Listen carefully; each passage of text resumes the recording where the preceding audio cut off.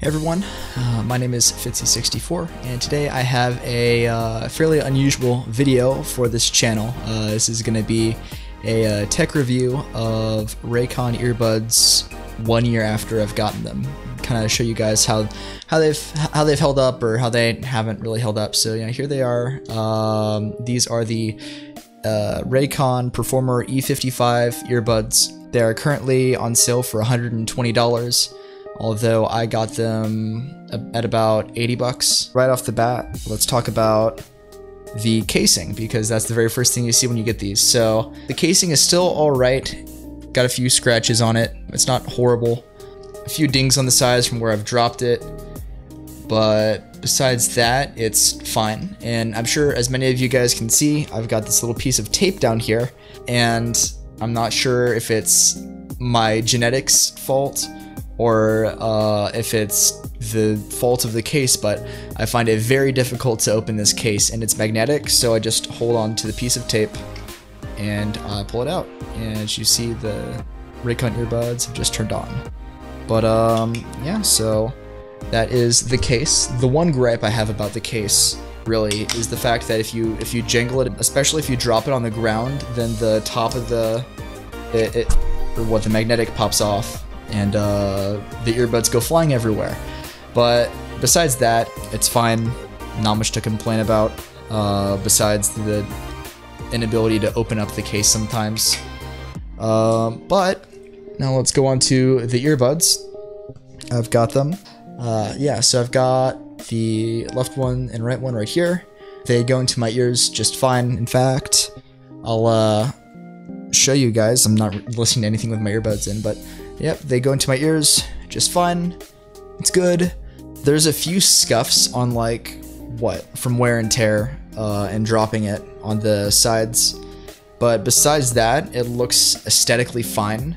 I've only used the stock earbuds. The or you can switch the ear mold.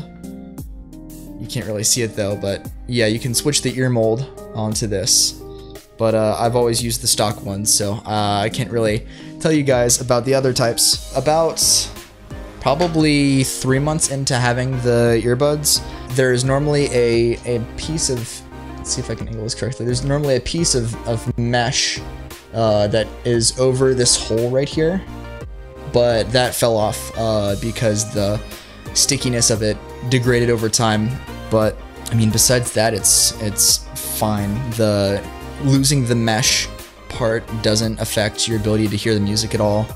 It's just kind of like a, a baseline protective. It, it, protects the inside of the earbud, but um, unless you're gonna like just douse this with water, it's not gonna go in because the hole's so small. But yeah, besides that, uh, the earbuds they pair just fine. Uh, I still get basically six hours of a charge every time I uh, put them in. I don't use them for six hours, but uh, whenever I've, I've tested them, they've, they've always lasted for six hours. So they still they still hold up. Yeah, there isn't much more to say uh, beyond that. The Raycon earbuds they they hold up after a year of use. The case can be a bit tricky, and then you, you can lose a very small, unimportant piece of it that doesn't affect the earbuds as a whole. But really, those are my only two gripes about it. They charge up just fine. The case maintains a, a solid charge over a year of use. The earbuds maintain a solid charge over a year of use.